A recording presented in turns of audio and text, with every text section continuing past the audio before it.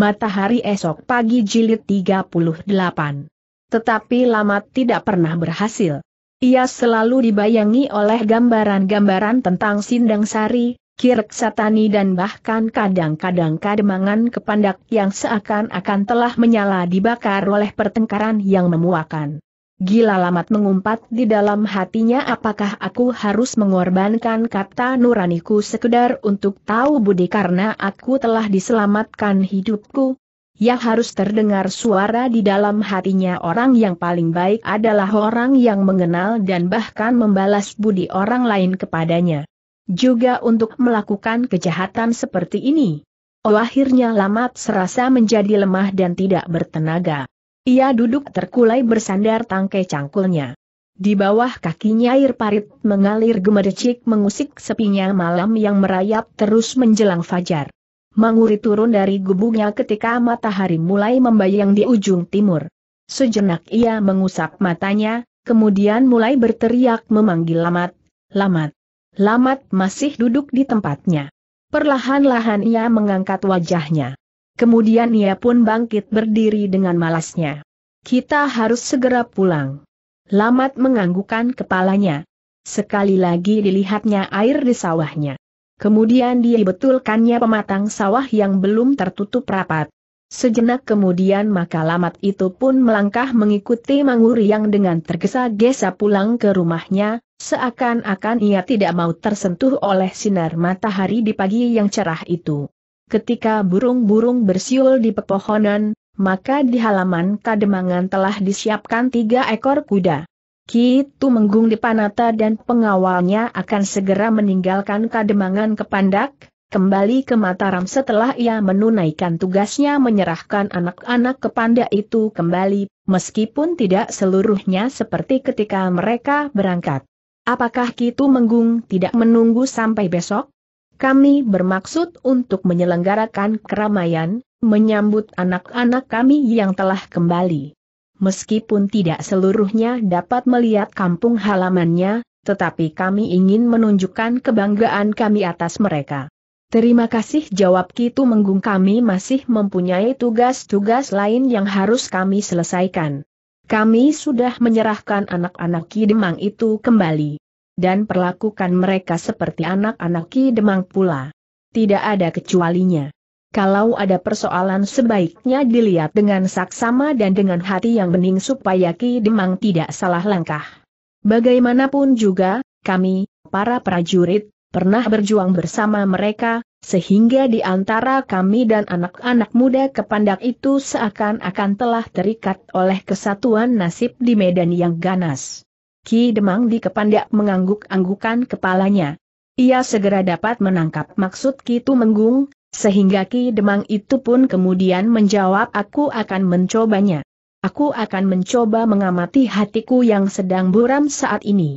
Ki Tumenggung di Panata tersenyum.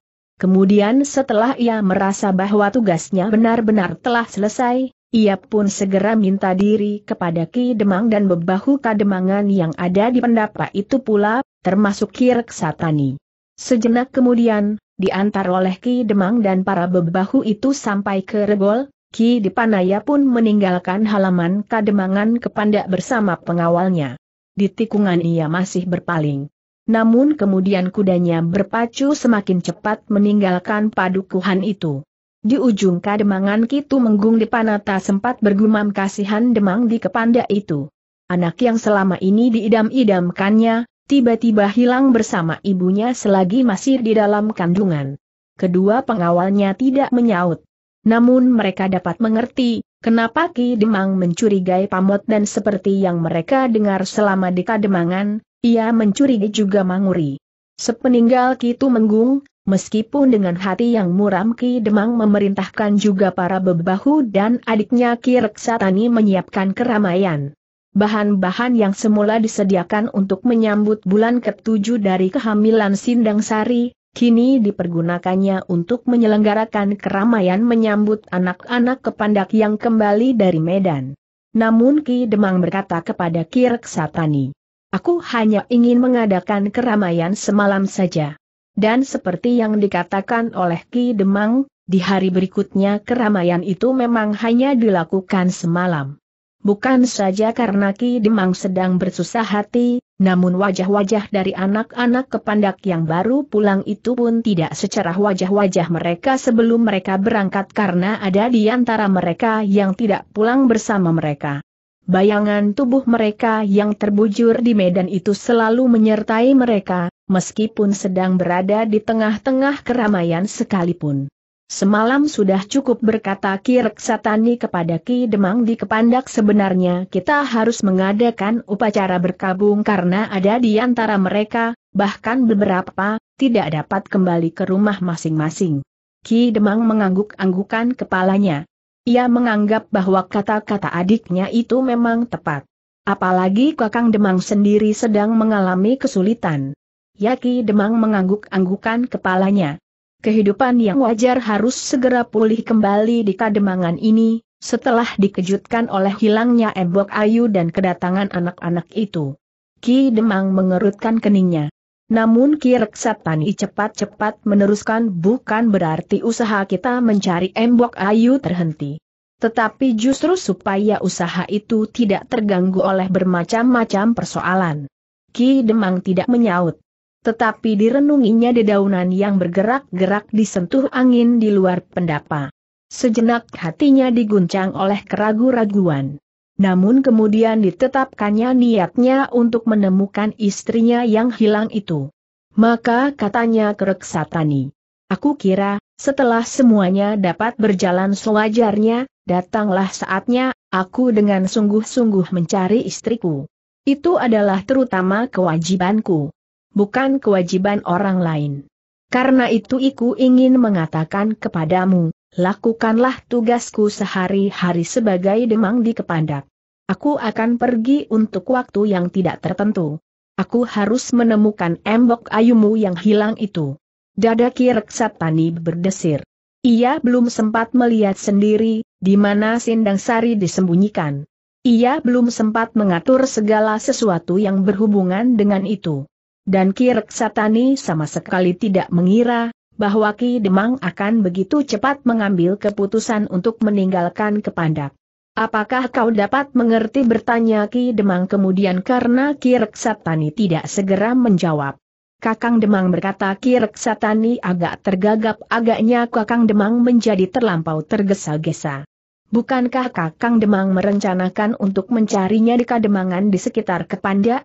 Kakang Demang dapat membawa beberapa orang bebahu dan pembantu, sementara aku akan mencarinya dengan sungguh-sungguh pula di tempat yang lain. Ki Demang di kepandak menggelengkan kepalanya. Katanya niat itu aku batalkan.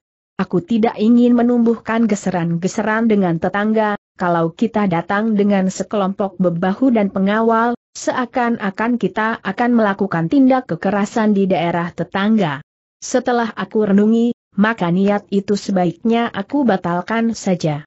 Yang akan aku lakukan kemudian adalah perbuatan seorang suami, bukan seorang demang. Aku harus menemukan istriku tanpa menimbulkan benturan-benturan dan apalagi korban-korban yang tidak bersalah. Kirk Satani menjadi semakin cemas. Ternyata Ki Demang telah menemukan ketenangan sehingga ia dapat memikirkan cara yang sebaik-baiknya dan bahkan dengan sikap seorang laki-laki. Meskipun demikian Ki Reksatani masih berusaha baiklah Kakang. Tetapi Kakang tidak perlu segera berangkat. Apakah artinya Reksatani sebagai seorang saudara muda? Aku akan mencobanya lebih dahulu. Aku lebih berkewajiban. Benar Kakang. Tetapi ada kewajiban kakang yang lain sebagai seorang demang. Aku minta waktu sepuluh hari. Kalau di dalam sepuluh hari aku tidak dapat menemukan Embok Ayu Sindang Sari, maka terserahlah kepada Kakang Demang. Apa yang akan Kakang Demang lakukan? Namun demikian setiap saat aku akan melakukan perintah Kakang apabila Kakang menghendaki. Ki Demang mengangguk-angguk sambil berkata terima kasih Reksatani. Aku kira aku dapat memenuhi permintaanmu tetapi tidak lebih dari sepuluh hari supaya aku tidak terlambat apabila kau gagal menemukannya. Serasa setitik embun jatuh di hati Kireksatani yang gersang. Ia mendapat waktu sepuluh hari. Di dalam waktu sepuluh hari itu ia dapat pergi ke mana pun tanpa kecurigaan sama sekali. Dan di dalam waktu yang sepuluh hari itu ia akan dapat berbuat banyak sekali atas sindang sari yang disembunyikan di Sembojan. Baiklah Kakang berkata Kirk Satani kemudian aku akan mempergunakan waktu yang sepuluh hari itu sebaik-baiknya. Aku akan berusaha untuk menemukan Embok Ayu. Di dalam waktu yang sepuluh hari itu aku dapat menjelajahi seluruh daerah selatan ini. Bahkan sampai ke telatah Mangir dan Menoreh. Demikianlah, maka Kirk Satani merasa bahwa ia harus memanfaatkan waktu itu sebaik-baiknya. Sesudah sepuluh hari, kalau kakaknya benar-benar akan meninggalkan kademangan, maka ia pasti akan terikat oleh jabatan yang akan dipangkunya, meskipun jabatan itulah yang selama ini diimpikan. Di dalam pengembaraannya itu, mungkin sekali Kakang Demang akan dapat menemukan Sindang Sari katanya di dalam hati. Karena itu, maka kecemasan yang melonjak-lonjak selalu menggetarkan dadanya. Yang paling baik bagiku adalah menyingkirkan Sindang Sari. Menyingkirkan sejauh-jauhnya, sehingga tidak mungkin lagi seseorang dapat menemukannya tiba-tiba saja ia menggeram. Memang bagi Kirk Satani tidak ada jalan yang paling baik daripada membunuh perempuan itu. Bahkan kemudian kalau perlu bersama Manguri dan ayahnya sama sekali tidak akan ada orang yang mencarinya seandainya untuk beberapa lama menguri tidak tampak di gemulung bahkan seandainya ia dibicarakan orang, maka setiap orang pasti justru akan mencurigainya, melarikan Sindang Sari dan tidak kembali lagi ke Kademangan kepada Kirk Satani yang menyadari kelebihannya, sama sekali tidak mencemaskan kemampuan ayah beranak itu. Bahkan lamat yang bertubuh raksasa itu sama sekali tidak dihiraukannya. Menurut pengertian Kirk Satani, lamat adalah raksasa yang kuat, tetapi betapa bodohnya. Pada hari itu Kirk Satani minta diri kepada kakaknya untuk meninggalkan kademangan. Besok aku akan berangkat kakang berkata Kirk Satani karena itu, biarlah istriku pulang menunggui anak-anaknya. Ki Demang di kepandak mengangguk-anggukan kepalanya. Katanya hati-hatilah di perjalanan. Jangan lengah tetapi juga jangan tergesa-gesa menentukan sikap apa pun. Dengan demikian kau tidak akan mudah masuk perangkap, tetapi juga tidak mudah terjerumus ke dalam kekeliruan. Mungkin kau sendiri tidak akan mendapat cedera karena kekeliruanmu itu. Tetapi apabila kau sudah terlanjur bertindak atas seseorang, maka korbanmu itu akan mengutukmu sepanjang abad. Kirk Satani mengangguk-anggukan kepalanya baiklah kakang. Sekaligus aku minta diri. Selama sepuluh hari aku tidak berada di Kademangan. Bendungan yang sedang digarap itu pun akan aku tinggalkan untuk sementara. Tetapi beberapa orang sudah akan dapat mengurusnya. Ki Demang mengangguk-anggukan kepalanya. Tanpa curiga sama sekali ia menjawab baiklah. Aku sekali-sekali akan menengok bendungan yang sedang kau garap itu. Kirk Satani pun kemudian meninggalkan kademangan itu bersama istrinya, pulang ke rumahnya. Ia harus mempersiapkan diri untuk menghadapi tugas yang cukup berat baginya. Aku akan melihat perkembangan keadaan katanya kepada istrinya ketika mereka sudah berada di rumah kalau aku menganggap bahwa tidak mungkin lagi menyembunyikan Sindang Sari, apa boleh buat. Tetapi jangan dibunuh perempuan itu. Ia sedang mengandung. Justru karena ia mengandung. Kandungannya itulah yang akan menjadi duri selama hidupku. Kalau anak di dalam kandungan itu harus mati, lebih baik membunuhnya sekarang, sebelum ia lahir dan hidup. Kita akan berdosa. Itu lebih baik. Dosa kita akan berlipat kalau kita menunggu bayi itu lahir. Nyai Reksatani tidak dapat menjawab lagi tetapi kepalanya tertunduk. Hatinya adalah hati perempuan. Bagaimanapun juga, terasa bahwa jalan yang diambah suaminya adalah jalan yang sesat. Tetapi ia tidak kuasa untuk terbuat lebih banyak dari memberinya peringatan. Namun di dalam hatinya sendiri, kadang-kadang tumbuh juga keinginan seorang ibu. Keinginan melihat anak-anaknya nanti menjadi orang yang terpandang, seperti dikehendaki oleh suaminya. Benturan-benturan itulah yang membuatnya kadang-kadang kehilangan kemampuan berpikir lagi, sehingga kadang-kadang ia bergumam aku tidak tahu. Terserahlah apa yang akan terjadi. Demikianlah, maka dengan hati yang berdebar-debar ia melihat suaminya mempersiapkan dirinya.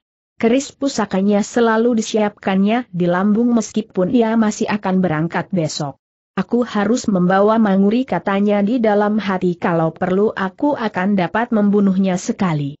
Adalah kebetulan sekali, bahwa sebelum ia memberitahukan keberangkatannya kepada Manguri, seorang pesuruh anak muda itu telah datang kepadanya dan bertanya kapan ia akan pergi ke Sembojan.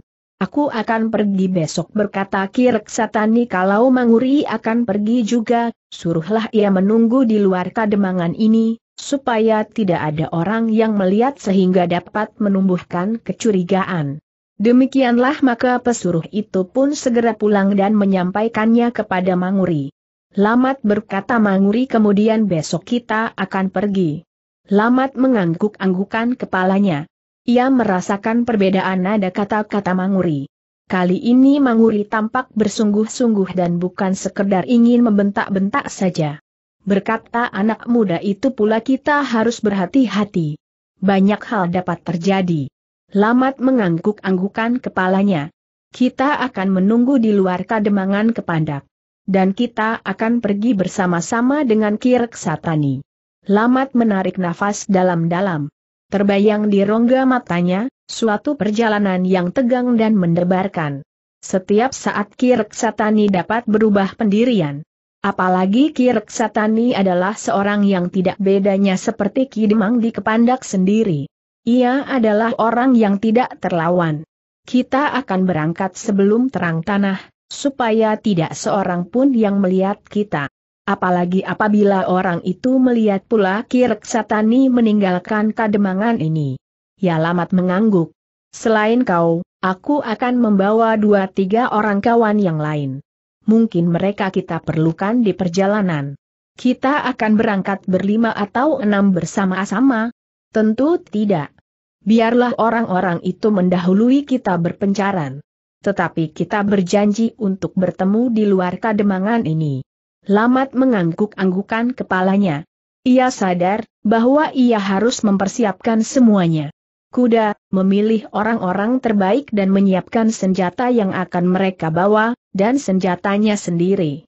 Demikianlah, Lamat yang selalu diguncang oleh perasaannya itu menjadi semakin bingung. Ia tidak tahu apa yang akan terjadi di perjalanan. Mungkin Kirk Satani sudah puas melihat persembunyian Sindang Sari, namun mungkin karena kecemasannya, tiba-tiba saja tumbuh keinginannya membunuh Sindang Sari. Kalau Kirk Satani ingin membunuh Sindang Sari berkata lamat di dalam hatinya sudah pasti, ia yang termasuk orang-orang yang dapat menjadi saksi dari pembunuhan itu akan dimusnahkannya pula. Tanpa sesadarnya Lamat meraih sehelai golok di dinding biliknya. Jarang sekali golok itu dibawanya keluar. Kadang-kadang ia hanya sekedar membawa sehelai parang. Tetapi kali ini, tiba-tiba saja tumbuh keinginannya untuk membawa goloknya. Meskipun golok itu tidak terlampau panjang, tetapi beratnya hampir dua kali lipat dari berat pedang biasa. Bahkan selain golok itu, Lamat telah menyisipkan pula sehelai pisau belati kecil di pinggangnya. Ia sendiri tidak tahu, kenapa ia menganggap perlu untuk membawa senjata-senjata itu. Bahkan ketika malam menjadi gelap, dan Lamat masih harus pergi ke sawah, senjata-senjata itu sudah dibawanya pula selain cangkul di pundaknya seolah-olah di tengah sawah telah pula menunggu bahaya yang akan mengancam jiwanya. Jiwanya yang seolah-olah telah tergadaikan itu. Malam ini aku akan beristirahat di rumah berkata Manguri besok kita akan berangkat lagi. Kau pun harus segera pulang dan tidur. Kita tidak boleh terlambat bangun. Lamat mengangguk aku akan segera pulang apabila sawah itu sudah penuh. Mungkin kita akan meninggalkan dua tiga hari, sehingga kita tidak akan dapat mengairinya selama itu. Aku kurang yakin bahwa orang-orang lain, para pekerja itu dengan sungguh-sungguh akan melakukan pekerjaan yang menjemukan ini. Terserahlah kepadamu. Tetapi besok kita akan berangkat menjelang fajar. Kita akan menunggu Kirek Satani di luar kademangan.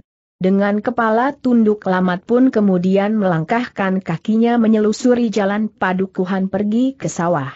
Ia hanya menganggukkan kepalanya saja apabila ia bertemu dengan anak-anak muda gemulung. Hubungannya dengan anak-anak muda itu tidak begitu baik seperti juga Manguri. Tetapi anak-anak muda gemulung menganggap bahwa Lamat hanyalah sekedar lembu perahan yang bodoh dan tidak bersikap apa pun juga. Dengan demikian, maka anak-anak muda gemulung justru tidak menumpahkan kebencian mereka kepadanya. Bahkan ada beberapa di antara mereka yang merasa kasihan kepada raksasa yang tidak lebih dari seorang budak itu. Seperti biasanya, orang-orang di padukuhan gemulung berusaha untuk menghindarkan pertengkaran berebutan air. Karena itu, setiap kali mereka saling berbincang, bagaimana malam nanti mereka akan membagi air yang tidak terlampau deras mengalir. Dengan demikian, maka pertengkaran akan dapat dihindari sejauh-jauhnya. Setiap orang tidak berniat sama sekali untuk mengingkari persetujuan mereka sehingga dengan demikian semuanya dapat berlangsung dengan lancar dan baik. Setelah mendapat ketetapan pembagian air, maka Lamat pun segera pergi ke gubuknya. Ia mendapat pembagian air sedikit lewat tengah malam, sehingga karena itu, ia akan dapat tidur barang sejenak. Mudah-mudahan aku tidak terlanjur tertidur sampai pagi desisnya. Tetapi apabila seseorang tertidur dan membiarkan air yang menjadi bagiannya lewat, kadang-kadang tetangga-tetangga yang mengetahuinya membangunkannya juga. Karena mereka pun mengetahui, betapa besarnya nilai air di musim yang kering ini. Tetapi ketika Lamat baru saja membaringkan dirinya, ia merasa gubuknya bergerak-gerak. Karena itu, maka ia pun segera bangkit dan memperhatikan keadaan di sekitarnya dengan saksama telinganya yang tajam segera menangkap desah nafas di bawah gubuknya. Perlahan-lahan. Tetapi cukup jelas baginya. Dengan dada yang berdebar-debar lamat menunggu. Siapakah yang sedang berdiri di bawah gubuknya itu? Sudah pasti bukan Manguri. Kalau yang datang itu Manguri, ia akan segera berteriak memanggil, atau dengan segera meloncat naik. Lamat masih menunggu sejenak. Tetapi orang yang berada di bawah gubuknya itu masih tetap berada di tempatnya. Akhirnya Lamat tidak menunggu lagi. Dari sela-sela alas gubuknya ia mencoba mengintip. Namun ia tidak dapat melihat dengan jelas siapakah yang berada di bawah gubuknya itu. Ia hanya melihat seseorang berdiri bersandar tiang. Lamat menjadi ragu-ragu sejenak. Namun kemudian ia pun mencoba menyapa siapa yang di bawah, Sejenak tidak ada jawaban, sehingga Lamat mengulanginya. Siapa yang di bawah itu? Ketika orang itu kemudian menengadahkan wajahnya, Lamat dapat menduganya, bahwa orang itu adalah Pamot. Aku Lamat terdengar jawaban. Lamat menarik nafas dalam-dalam. Ia mencoba menahan gelora yang melonjak-lonjak di hatinya. Tiba-tiba saja Pamot kini menjadi hantu yang menakutkan baginya. Siapakah yang kau cari di sini Lamat bertanya. Aku mencarimu Lamat. Aku? Ya. Turunlah, atau aku akan naik. Lamat menjadi ragu-ragu sejenak. Ia sadar, bahwa pertanyaan pamut akan berkisar di sekitar Sindang Sari. Sehingga karena itu, ia pun kemudian menjawab aku lelah sekali. Aku ingin tidur. Aku ingin berbicara sedikit saja Lamat. Kalau aku naik, dan Manguri datang setiap saat, maka aku akan diketahuinya datang menemui kau. Pergilah berkata Lamat kemudian. Detak jantungnya serasa menjadi semakin cepat mengguncang isi dadanya aku tidak sempat berbicara apa pun sekarang. Sebentar saja. Atau aku akan berteriak dari bawah. Pergi. Pergilah Pamot, jangan membuat aku marah. Pamot mengerutkan keningnya. Namun ia tidak segera pergi. Bahkan ia berkata pula kau tentu bersedia turun sejenak. Hanya sejenak. Aku akan segera pergi supaya aku tidak mengganggumu di sini. Pergilah sekarang. Aku harap kau turun sejenak lamat. Aku tidak mempunyai tempat lagi untuk bertanya. Aku menganggap bahwa pertanyaan ini dapat aku sampaikan kepadamu. Dan aku mengharap kau masih bersedia menolongku. Cukup. Pertolonganku kepadamu sudah cukup banyak. Sekarang kau jangan mengganggu aku lagi. Aku tidak tahu apa-apa tentang Sindang Sari. Aku tidak tahu apa-apa tentang dunia luar dinding halaman rumah Manguri. Aku tidak tahu apa-apa. Bahkan keadaan di dalam halaman itu pun aku tidak mengetahui banyak. Tetapi aku tidak bertanya tentang Sindang Sari Lamat. Terasa desir yang tajam tergores di dada Lamat. Sejenak ia merenung. Bahkan kemudian ia menjengukkan kepalanya. Dilihatnya Pamot kini berdiri di depan tangga. Kenapakah selalu menggelisahkan aku Pamot? Kau tahu siapa aku? Tidak seharusnya kau selalu mengejar aku dan menghantui aku dengan pertanyaan-pertanyaanmu yang tidak aku mengerti. Apakah kau tidak akan turun bertanya Pamot? Lamat menarik nafas dalam-dalam. Namun ia pun kemudian bergeser menepi. Katanya baiklah. Aku akan turun. Tetapi jangan bertanya tentang Sindang Sari, tentang Ki Demang dan persoalan-persoalan yang bersangkut paut dengan itu. Ya. Kau berjanji? Ya. Lama terdiam sejenak. Namun kemudian ia pun menuruni tangga gubuknya menemui Pamot yang masih berdiri di bawah. Cepat bertanyalah berkata Lamat. Lamat sahut Pamot kenapa kau sekarang berubah? Ketika aku berada di dalam kesulitan, di saat-saat aku akan meninggalkan kemulung, kau selalu melindungi aku. Bahkan kadang-kadang di luar dugaanku dan dapat membahayakan dirimu sendiri. Tetapi sekarang kau bersikap sangat berbeda. Apakah aku sudah berbuat kesalahan yang menyinggungmu? Atau barangkali, kau tidak dapat melupakan dosa yang telah aku lakukan di luar sadarku itu? Dada Lamat menjadi semakin berdebar-debar. Namun kemudian ia memotongnya cepat katakan keperluanmu. Apakah kau tidak mau lagi berbicara dengan tenang dan baik seperti dahulu? Diam Lamat tiba-tiba membentak cepat katakan dan cepat tinggalkan tempat ini. Sebentar lagi Manguri akan datang kemari. Kau tidak akan dapat bersembunyi lagi. Pamot menarik nafas dalam-dalam. Ya, memang mungkin sekali kau sudah terlampau muak kepadaku. Malam itu kau masih dapat menahan hati. Kau masih sempat memberi kesempatan aku bersembunyi. Ya, sekarang aku sudah benar-benar muak melihat wajahmu. Aku tidak dapat melupakan noda yang memercik di hatimu. Aku tidak dapat melupakan betapa jahatnya kau malam itu. Kau sudah berbuat sesuatu yang tidak pantas dilakukan oleh orang-orang beradab. Baiklah. Aku minta maaf sekali lagi. Kenapa kau minta maaf kepadaku? Aku sama sekali tidak berkepentingan dengan kau, dengan Sindang Sari dan dengan Ki Demang yang istrinya telah kau nodai. Aku tidak berkepentingan apa pun. Baiklah Lamat. Baiklah. Tetapi apakah aku boleh bertanya sesuatu kepadamu? Sebuah pertanyaan saja. Lamat memandang Pamot dengan metu yang gelisah. Dan tiba-tiba ia membentak cepat, katakan pertanyaanmu itu. Lamat suara pamot merendah kenapa Kirek Satani pada malam itu datang menemui Manguri. Pertanyaan itu serasa menghentakkan seluruh isi dada Lamat. Sejenak ia membeku di tempatnya. Namun sejenak kemudian ia membentak pula kau sudah berjanji, kau tidak akan bertanya tentang Sindang Sari, Ki Demang atau yang bersangkut paut dengan itu. Kenapa kau melanggar janjimu? Aku tidak bertanya tentang Sindang Sari, tentang Ki Demang dan yang bersangkut paut dengan itu lamat. Tetapi aku bertanya, kenapa Ki Reksatani memerlukan menemui Manguri di malam hari? Pamot hampir tidak dapat menyelesaikan kalimatnya ketika tiba-tiba saja terasa tangan lamat menampar pipinya, sehingga Pamot terputar ke samping.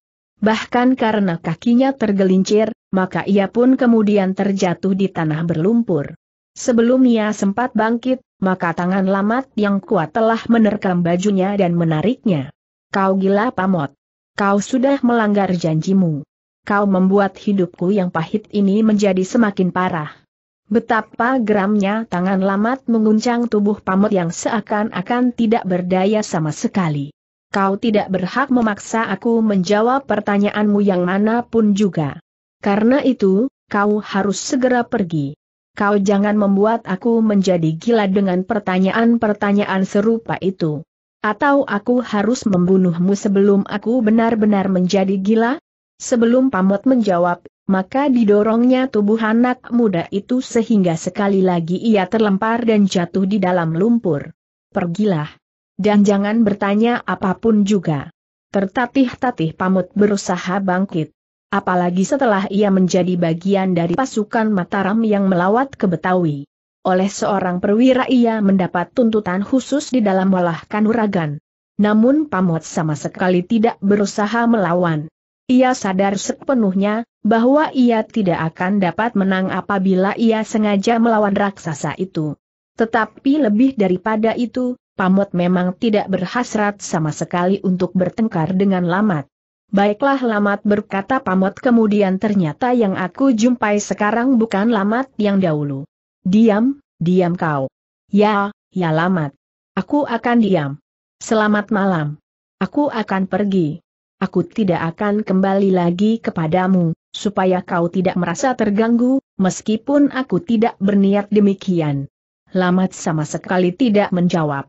Ia sama sekali tidak mau lagi memandang wajah pamot yang kotor oleh lumpur. Bahkan hampir seluruh tubuh dan pakaiannya. Aku akan pergi lamat. Lamat sama sekali tidak menjawab. Tetapi ketika pamot mulai melangkahkan kakinya, Lamat menggeram seharusnya aku bunuh kau. Kau dapat menimbulkan salah paham. Kalau kau memang melihat Kirk Satani menemui Manguri, itu karena Kirk Satani mencurigainya. Dan setiap saat selalu mendesaknya agar Manguri mengaku bahwa ia telah ikut terlibat di dalam masalah itu. Pamot memandang Lamat dengan tajamnya.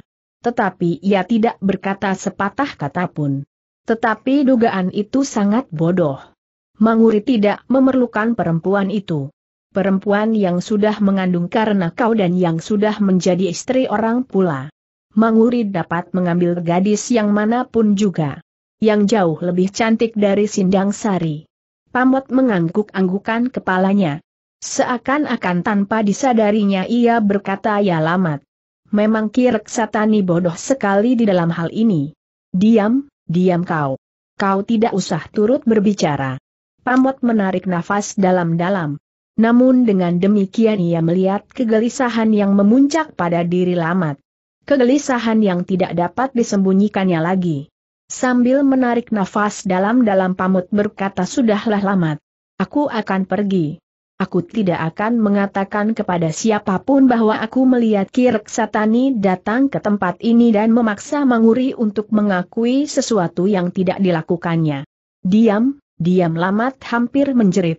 Berbareng dengan itu sekali lagi tangannya menampar pipi Pamot, sehingga Pamot sekali lagi terputar dan jatuh ke dalam lumpur.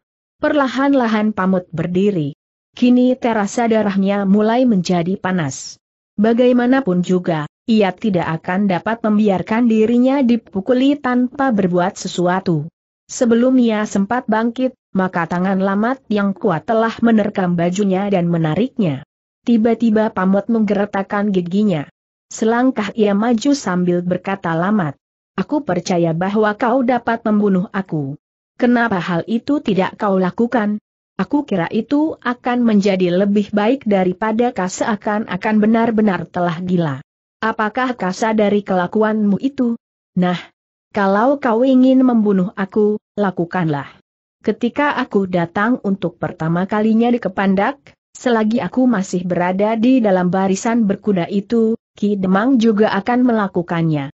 Ki Demang menuduh aku melarikan Sindang Sari dan menuntut agar aku diserahkannya kepadanya. Tetapi Ki Tumenggung di Panata tidak mau karena ia tahu bahwa aku tidak bersalah.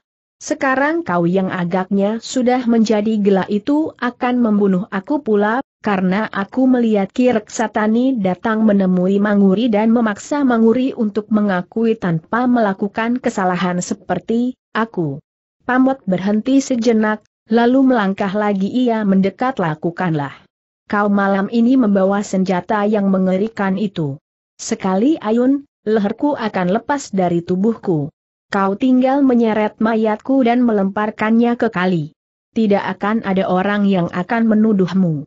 semua orang pasti akan menyangka bahwa Ki Demanglah yang telah melakukannya atau orang-orang yang disuruhnya seperti ketika aku merayap ke rumah Sindang Sari sebelum aku pergi.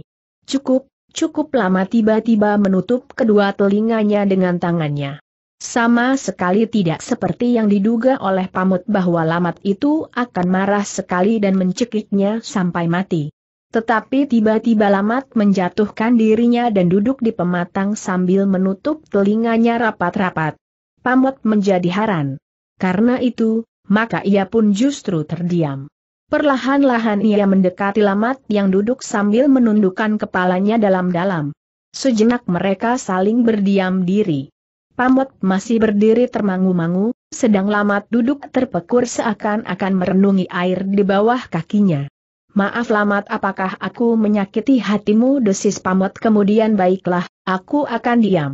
Aku hanya akan minta diri kepadamu kalau kau tidak ingin membunuhku. Aku tidak akan mengganggumu lagi. Lamat tidak menjawab. Ia masih menekurkan kepalanya.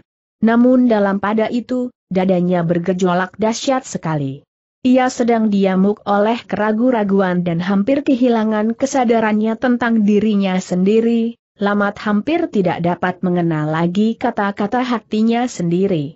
Ia tidak tahu, apakah sebenarnya yang kini dikehendakinya, diinginkannya dan persoalan yang dihadapinya. Dan bahkan ia tidak lagi dapat membedakan, mana yang benar dan mana yang tidak benar menurut nuraninya. Aku sudah menjadi gila pamot. Benar-benar gila desisnya. Pamot mendekatinya dan seperti tanpa disadarinya ia duduk di samping raksasa itu aku tidak mengetahui dengan pasti, apakah yang sedang bergolak di hatimu. Tetapi kalau semuanya itu karena singgungan kata-kataku, pertanyaanku dan barangkali kecurigaanku, aku minta maaf. Mudah-mudahan kau dapat melupakannya. Lama tidak menjawab. Tetapi kata-kata pamot itu justru membuatnya semakin bingung. Hatinya seakan-akan telah menjadi gelap pekat. Ia tidak tahu lagi jalan yang harus dilaluinya. Aku memang sudah gila. Aku benar-benar sudah gila. Aku hanya tinggal mengenal nama-nama orang, namamu, nama Manguri, Kirksatani, Kidemang, Sindang Sari, tetapi aku tidak akan dapat mempunyai tanggapan apa pun juga. Pamot mengangguk-anggukan kepalanya. Ia melihat beban yang terlampau berat di hati raksasa yang jinak itu. Pamot tiba-tiba lamat berkata dalam nada yang dalam kalau kau berdiri di simpang jalan, jalan yang manakah yang akan kau pilih? Pamot menjadi bingung mendengar pertanyaan itu. Karena itu ia ganti bertanya aku tidak mengetahui maksudmu dengan pasti lamat. Dan aku tidak mengenal kedua ujung dari jalan simpang itu, sehingga aku tidak akan dapat memilih. Lamat mengangguk-anggukan kepalanya. Katanya ya, kau tidak mengenal ujung jalan simpang itu. Tetapi manakah yang lebih baik bagimu? Membalas budi atau menyelamatkan jiwa seseorang? Aku berhutang budi kepada seseorang yang telah menyelamatkan jiwaku pamot, tetapi kini aku melihat jiwa seseorang sedang terancam. Mungkin ia akan mati terbunuh, tetapi seandainya tidak, maka jiwa itu pun akan dirampas oleh malapetaka sepanjang hidupnya seperti hidupku sendiri. Bahkan lebih parah lagi. Pamot tidak segera menjawab. Di wajahnya membayang keheranannya yang memuncak. Pamot berkata lamat kemudian apakah sebaiknya yang akan kulakukan seandainya menguri menyuruh aku membunuhmu, sedang kau tidak bersalah? Dada Pamot berdesir mendengar pertanyaan itu. Dengan serta-merta ia bertanya jadi kau mendapat perintah Manguri untuk membunuh aku? Tidak. Jadi pamot mendesak jadi bagaimana? Seandainya, hanya seandainya. Aku telah berhutang budi kepada Manguri karena ayahnya telah menyelamatkan nyawaku di masa kanak-kanak. Padahal aku tahu bahwa kau sama sekali tidak bersalah.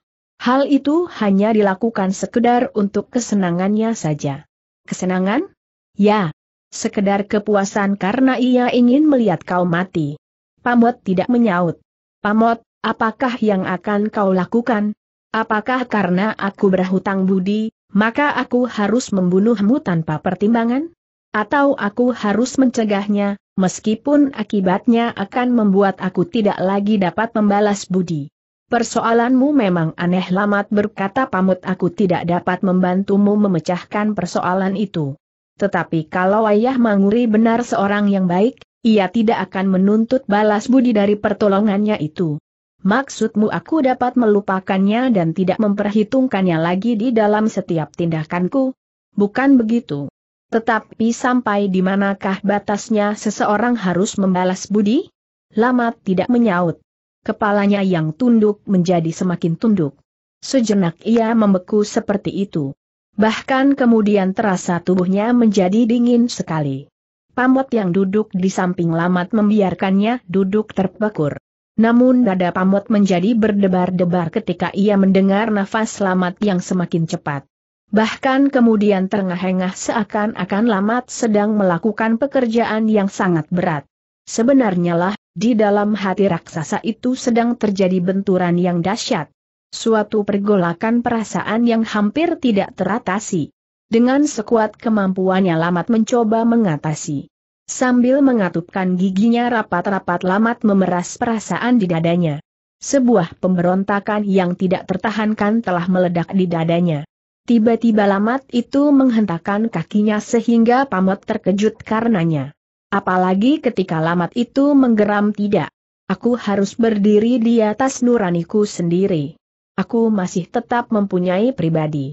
Aku bukan seekor kerbau. Aku bukan seekor lembu perahan yang tidak berhak menentukan sikap. Pamot bergeser setapak menjauh. Dipandanginya alamat yang perlahan-lahan mengangkat wajahnya.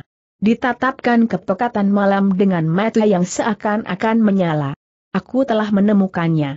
Aku telah memutuskannya apa pun yang akan terjadi. Aku tidak dapat membiarkan kegilaan itu berkepanjangan. Pamot masih duduk diam, sejengkal lagi ia bergeser menjauh tanpa menghiraukan pakaiannya yang semakin kotor karena lumpur pematang. Bahkan kemudian ia menjadi cemas melihat Lamat. Apakah Lamat telah benar-benar menjadi gila? Pamot pun kemudian berdiri ketika ia melihat Lamat berdiri. Ia harus bersiap menghadapi setiap kemungkinan di dalam kegilaan itu, apabila Lamat benar-benar menjadi gila. Lamat yang berdiri tegak itu menjadi terengah-engah. Tubuhnya menjadi gemetar dan bibirnya bergerak-gerak. Lamat suara pamot perlahan-lahan apakah yang sudah terjadi atasmu? Lamat tidak menjawab. Kini mulutnya terkatup rapat-rapat. Lamat, apakah ada sesuatu yang telah mengguncangkan hatimu? Ya tiba-tiba Lamat menjawab aku telah berusaha menguasai diriku sendiri Lamat berpaling. Dipandanginya wajah Pamot yang tegang Pamot. Aku bersumpah bahwa aku adalah Lamat.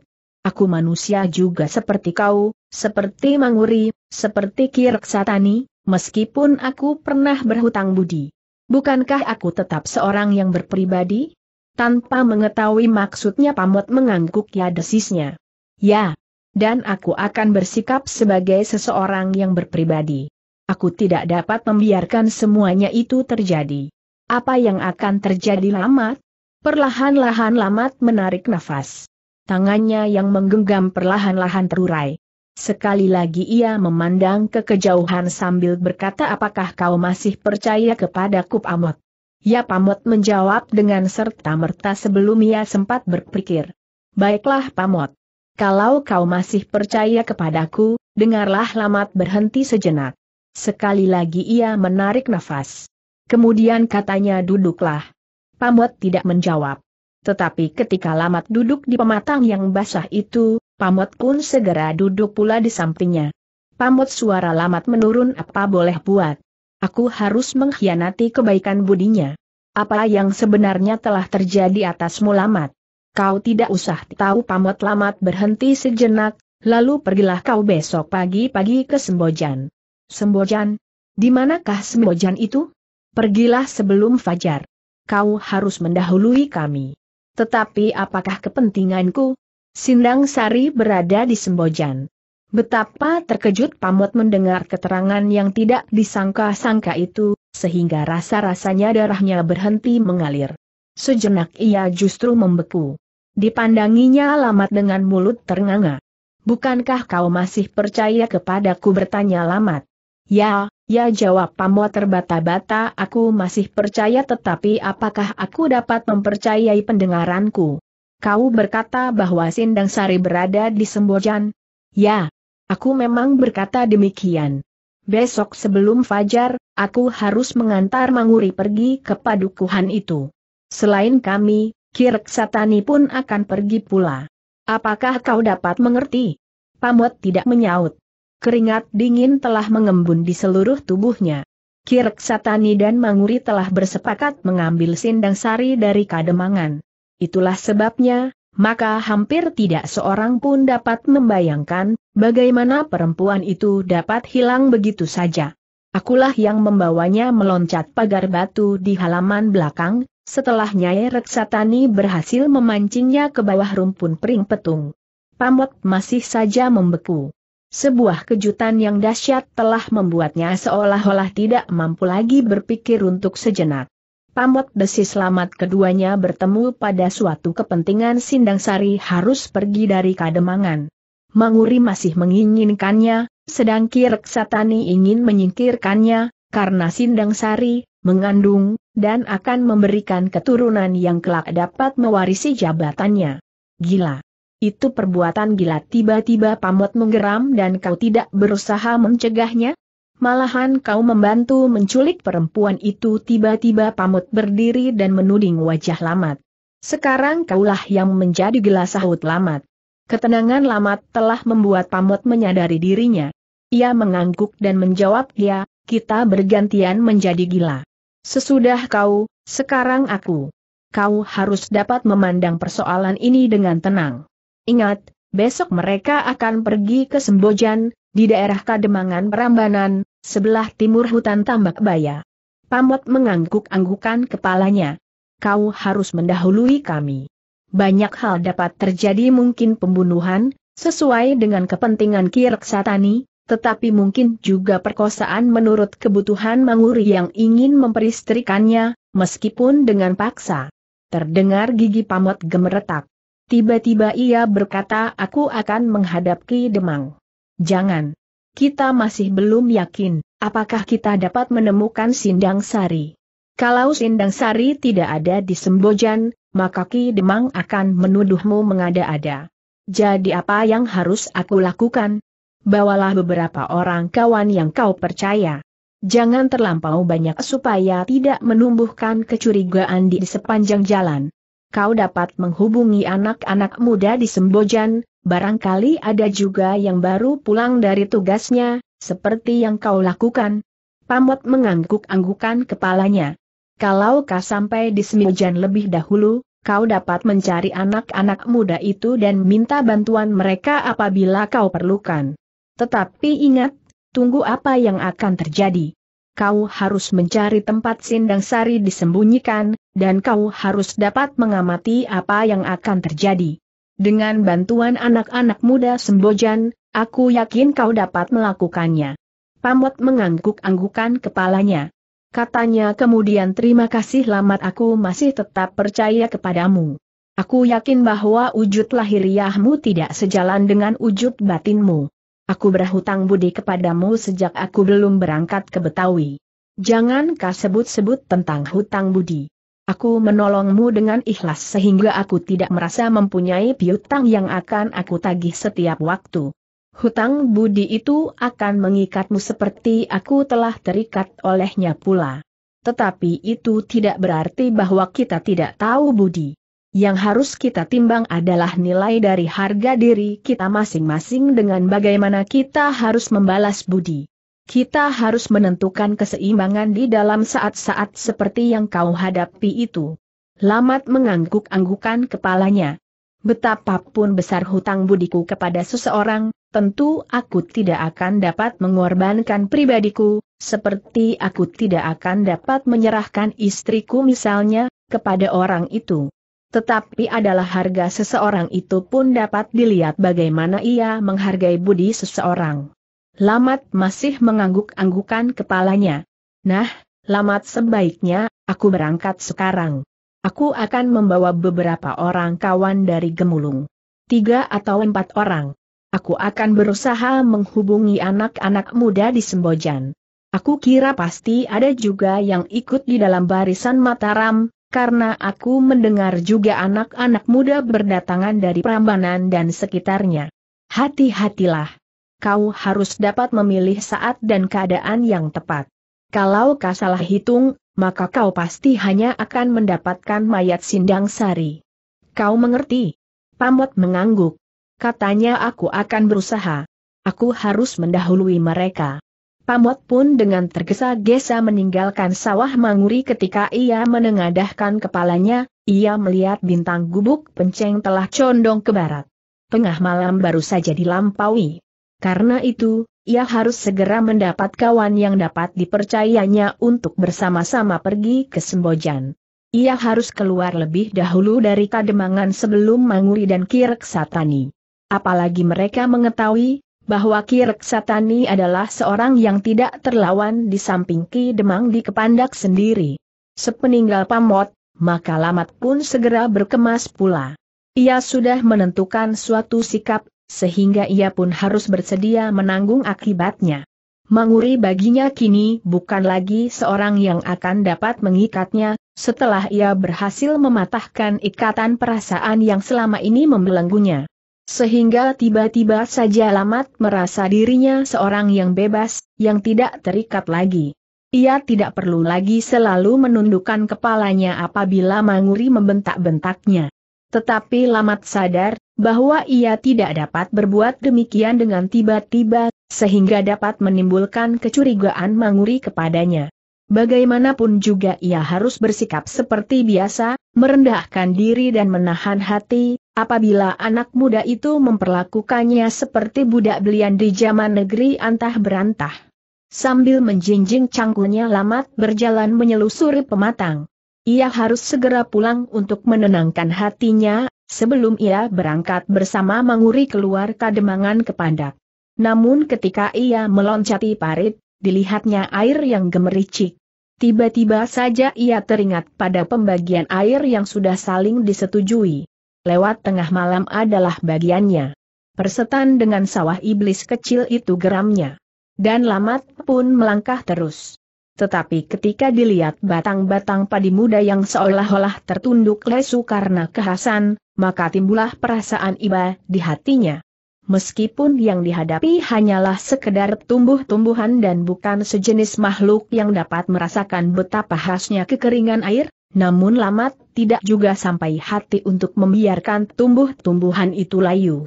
Lamat berhenti sejenak termangu-mangu. Namun ia terpaksa melangkah kembali. Dibendungnya parit kecil dan dialirkannya air parit itu ke dalam kotak-kotak sawah. Meskipun dia sama sekali tidak ingin lagi bekerja untuk manguri namun tanaman-tanaman yang masih muda itu memang memerlukan air.